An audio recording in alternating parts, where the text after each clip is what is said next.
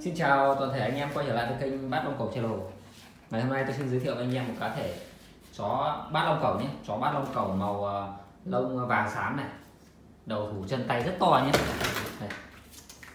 các cụ có câu ờ, chó khôn tứ túc huyền đề. À, tai thì hơi cúp đuôi thì cong cong nhé. Đây cá thể đuôi cong vắt trái luôn cho anh em nhé. Đây chân tay rất to đẹp. Đây. Chó rất khôn thần thái tinh nhanh cuốn chủ anh em nhé lưỡi rất dài luôn. Minh, minh, minh, minh.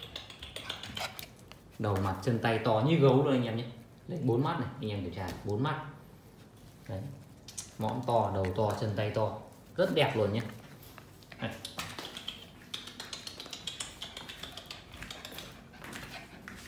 đầu thủ khung gọng. Đều đẹp. Thần thái tinh nhanh nhé đây cho anh em quan sát tổng thể này.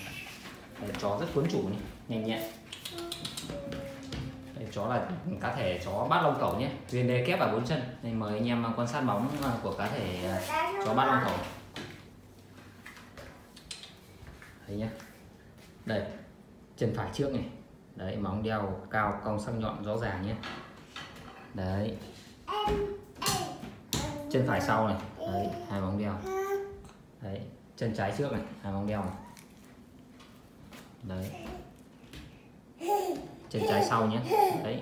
Mỗi chân hai móng đeo nhé. Móng ờ, rất đều và vuông nhé. Tổng cộng là 8 móng đeo nên được gọi là ba lông cẩu nhé. Đấy, cho nhiều em quan sát này. Cá thể ba lông cẩu hơn 2 tháng tuổi nhé nặng khoảng à, 4,5 kg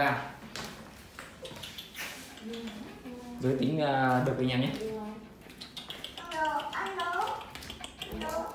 Rất tinh nghịch luôn.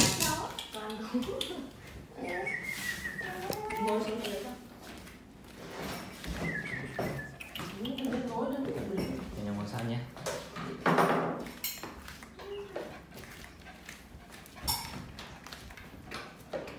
Ờ, anh em nào muốn uh, sở hữu có thể bắt ông cầu uh, ờ, giới tính được 2 tháng tuổi à, nặng khoảng à, 4,5 kg thì à, liên hệ với tôi theo số điện thoại 0983 354 369 nhé.